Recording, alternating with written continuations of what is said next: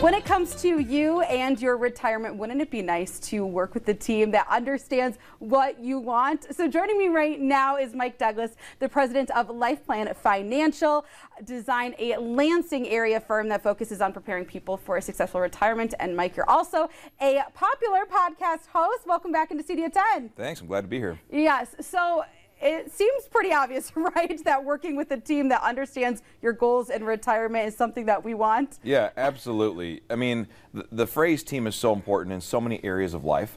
Um, you know, whether you're dealing with medical things, you want a medical team with multiple doctors and multiple specialties. And when you're working with a financial plan, there's a lot of different areas of specialty that are required, things we need to take care of. And uh, I think a lot of times we get advice on one thing and it's like coaching one basketball player and hoping the whole team wins. Right. And so you need a team approach where you have multiple people who are helping you work towards your goals, and really in a now it doesn't have to be like multiple firms, but making sure that someone's handling your estate plan, taxes, um, uh, how your investments work, risk mitigation, income planning for the future. There's a lot of different stuff. Mm-hmm. Um, if you want to gift and be generous in the future, those are all things that need to be planned for and built. And it requires a thoughtful, comprehensive approach, not just a hey, buy Apple stock approach. Right. right? Exactly. Because yeah, I, it sounds like that, uh, you know, being on the same page with your financial advisor isn't always a given, right? No, I think there's a lot of times in life, in every profession, not just yeah. financial advisors. Mm-hmm. I think it's common for us to work with someone who is a professional who really is there just to do their job and there's not necessarily a relationship or a, a cohesion that happens. Um, and it's a transactional relationship, right? Like when I go get my oil changed, I don't plan my life out with my mechanic, right? I'm like, change the oil, and he's like, here's, give me money, and it works out really well that way. But that's the end of it, and then I leave, and we don't talk again until I do my oil changed again. Mm-hmm. So that's the way that relationship works.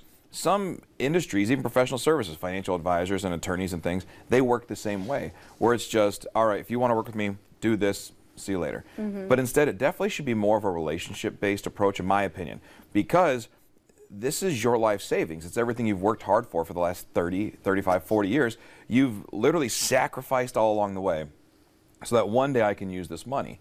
And then for someone to come along and say, ah, just do this. It's what I do with everybody. It doesn't matter. You're just another number type of thing. They, mm-hmm. do, they would never say that. But, right. but to say, yeah, just do this. I've done it forever. It'll work. Mm-hmm. It's just, it's a little cold. And, mm-hmm. it, and it's not that it's wrong. It's just not for me. Mm-hmm. I think that there should be more of a family relationship approach that just says, you know what, let's work on this together to make sure that the things you want to do get done. Yeah, and having that trust between everyone. Uh, yeah. So, you know, in terms on your end, retirement, what does it look like when, you know, a prospect or a client comes to you and tells you what they're looking for? Well, it, we really generally begin with the end. We say, what do you want life to look like? And I know that people's story of what they want the future to look like generally is a result of the backstory that got them there. So your experience or your goals for the future is shaped by what you've experienced in the past. If you've been crushed in the past by the stock market, you are terrified of losing it all again. However, if you've been very successful, then you look at the opportunities ahead of you. And so when we understand people's background and their backstory, it helps understand why they want to go forward. When someone comes into me and is just panic, panicking over long-term care, I know that something's gone on. What happened? Did your mom just go in? Did your aunt just go in? Well, yeah, actually, my aunt just went in. There, she's spending eight grand a month. Okay, well, that makes sense to me. Um, when people hear our backstory with Kimberly and I about, um, we have a son, Caleb, who we had some complications through pregnancy, and it was a challenging thing we went through. So when I say I'm not going to miss a basketball game, and I'm not going to take an evening meeting that night because my son has a basketball game. And they say, Wow, you won't come meet with me? I say, Well, my son had all these issues, and so now he's playing basketball, and I'm not going to miss a moment. Mm-hmm. And those things matter. And in the same way, people have something what they want to live for.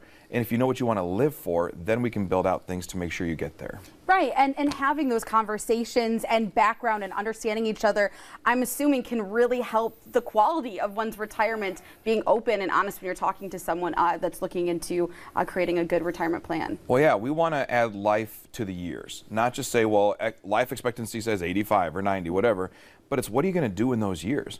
You've worked at GM for 30 years, you've worked at the state or Michigan State or wherever you've worked for all these years, and now you're retired, and what do you do with it? Do you just sit on the couch because you say, I'm just scared of losing or I'm scared of whatever? Or do you start living more? And so now that you have the freedom, and you have the finances, let's put life in the years. And so let's go after those goals. And there's a difference in a quantity of days and a quality of life. And we're trying to create a financial quality of life that says, if you have a grandson like my son Caleb who's playing all these sports, you know, or it's like if you have someone like that, go see those games, Yeah. go participate in those moments, go on vacation together. Why? Because that is the quality of retirement life. Mm-hmm. Yeah, you're learning more and, and, and taking life by the, the handles as they should every year. So thank you so much for that. And so for you at home, if you want to learn more about having the right team on your side for a nice quality retirement, Mike has a great offer for you. So right now, for the first five callers with savings of $500,000 or greater, he's offering a complimentary full-blown retirement plan just for you. So this is going to allow Mike and his team to sit down with you personally and provide you with a roadmap analyzing where you are right now and discuss your best steps to really get ready for a successful retirement. A game plan to get you where you need to be. The number to call is 517-200-3330. Again, that's 517-200-3330. And Mike, thank you again so much for stopping by and sharing all of this. Thanks for having me.